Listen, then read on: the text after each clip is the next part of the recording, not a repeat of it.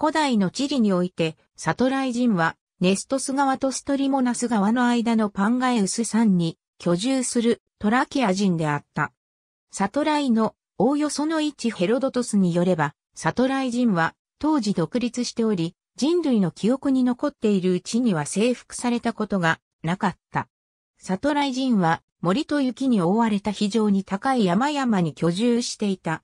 最も高い山にはディオニューソスの神官がおり、その言葉は巫女によって伝達されていた。サトライ人はこの地域の近郊及び銀行の労働指揮者であった。